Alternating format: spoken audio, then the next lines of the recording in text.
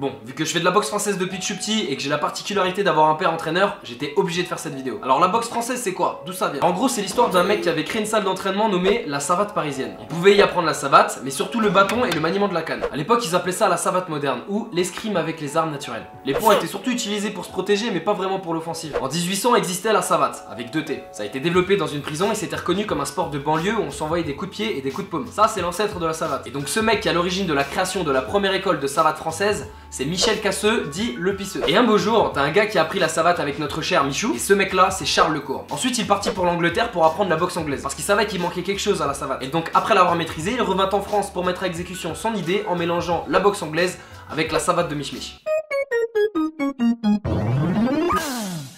On avait alors un moyen de défense complet. Et à l'époque, l'enseignement de ce nouvel art eut tellement de succès dans Paris que même les nobles et les stars voulaient apprendre cette discipline. Donc Charles Lecourt est le premier à avoir codifié la boxe française. Ensuite, le deuxième que met, c'est Charles Charlemont. Il a transformé la savate boxe française en ce que nous connaissons à ce jour, même si à l'époque leur posture était parfois très rigide.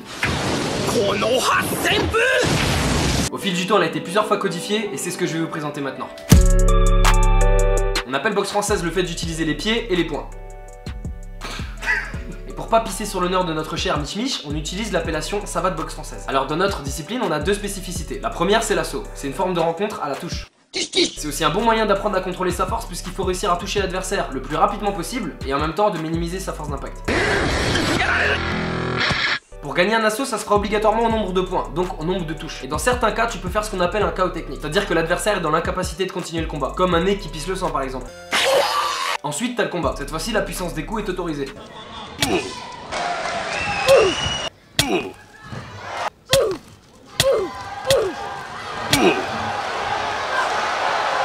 Par contre, c'est interdit aux moins de 18 ans. Tout ce qui est protège-dents, coquilles et les parties intimes pour les meufs, c'est obligatoire. C'est une question de sécurité. Alors, il y a un point de détail dans la boxe française qui font un peu la honte. En boxe taille, tu portes un short, tu vois, ça va, t'as du style encore. Alors qu'en boxe française, t'as une combinaison, mon frère.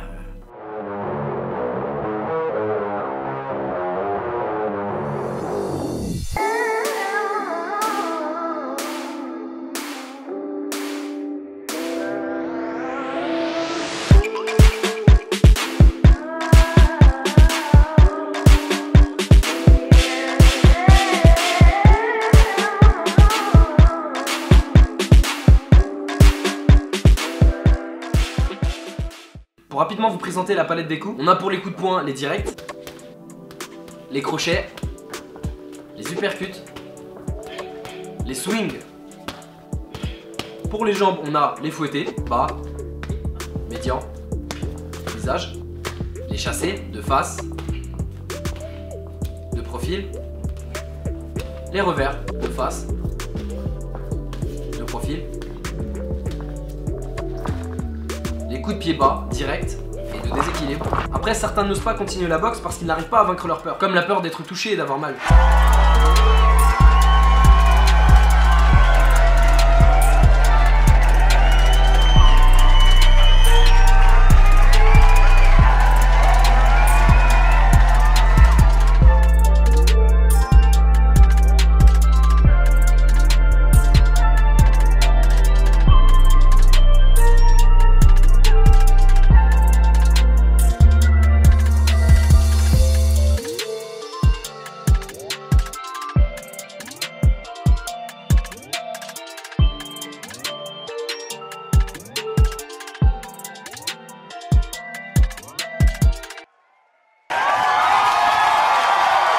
Oh putain, j'allais me faire défoncer. Ça, quel plaisir. Comme dans tout art martial, il y a des règles. Sauf chez les arabes, eux ils connaissent pas le revers, tu vois.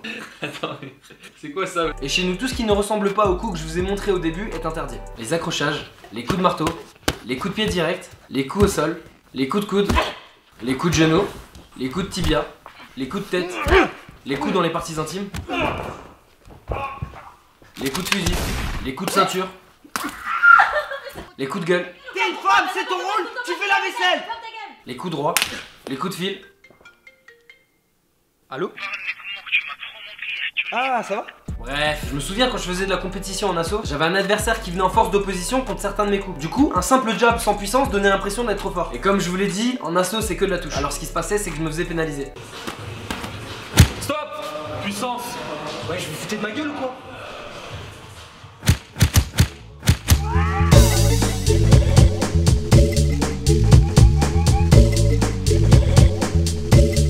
Deuxième truc qui me faisait chier, c'est que je tombais sur des mecs qui cassaient la distance. Du coup, à chaque fois que je balançais un fouetté, ben je touchais le tibia et vu que c'est interdit.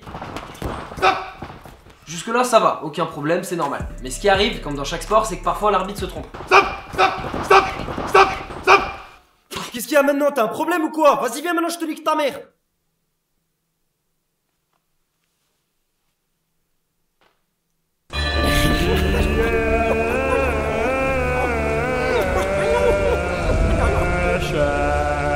ceux qui se demandent comment ça se passe au niveau des grades, alors nous on appelle ça des gants et ça va du niveau gants bleus jusqu'au niveau gants d'argent. Pour ma part, je me suis arrêté au gants jaune. Il y a deux moments dans ma vie où j'ai jamais autant stressé. La première fois, c'était avec une meuf. Dis-moi, tu, tu m'avais dit que tu prenais la pilule, toi, non? Hmm, Non, pas vraiment. T'inquiète, je gère, je connais mes cycles. Co- Comment ça, tes cycles? Bah, tu sais, la période d'ovulation. Bah, je sais quand c'est et on peut faire ça n'importe quand en fait. Ah, je suis tout de ma gueule, quoi. Non, en fait, euh,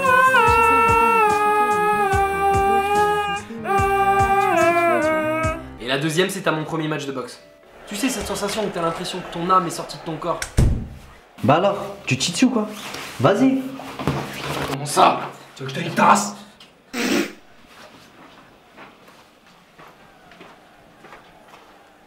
Mais heureusement, cette sensation s'extériorise assez rapidement une fois que t'as commencé ton match. Ça m'est déjà arrivé pendant des compétitions de voir des mecs, mais alors rien respecter du tout. Il faut aller la chatte à sa grand-mère, la maudite, à ce fils de pute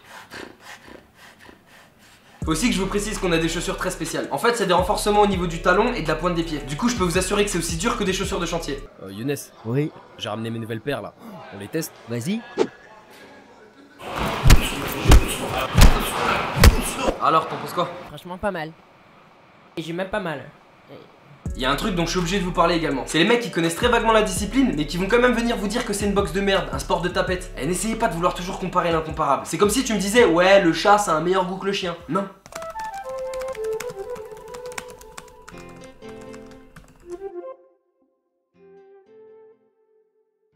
C'est bon là, t'es content?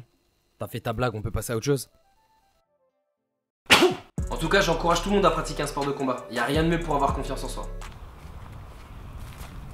Eh, fais gaffe où tu marches, fils de pute T'as dit quoi là? T'as très bien entendu, fils de pute.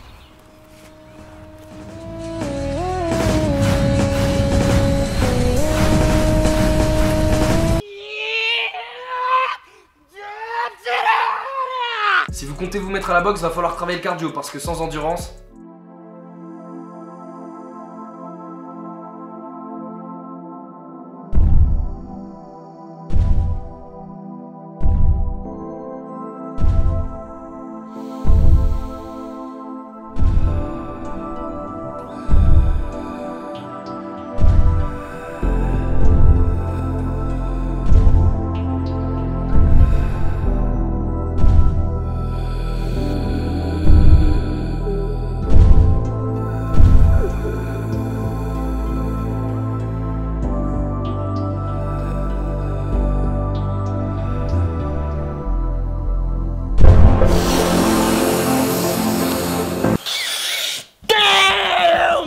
Sinon, faut savoir qu'il existe des déclinaisons de la boxe française. La savate forme.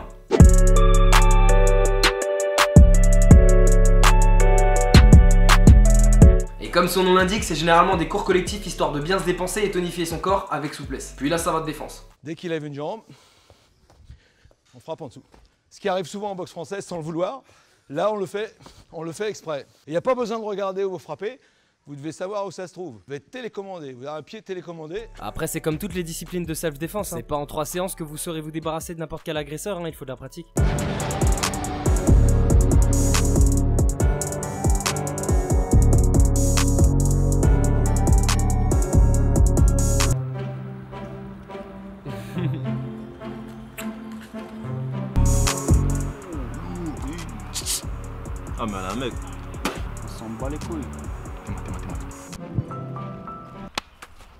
Tu veux quoi là? Et toi, tu dis rien!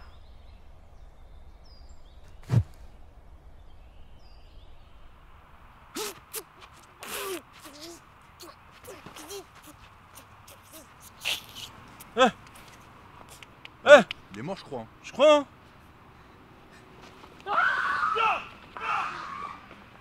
Donc là, j'étais avec ma meuf, et puisque je suis un mec violent et dangereux, j'ai préféré m'abstenir pour leur sécurité, parce qu'en temps normal, je les aurais défoncés, mesquines.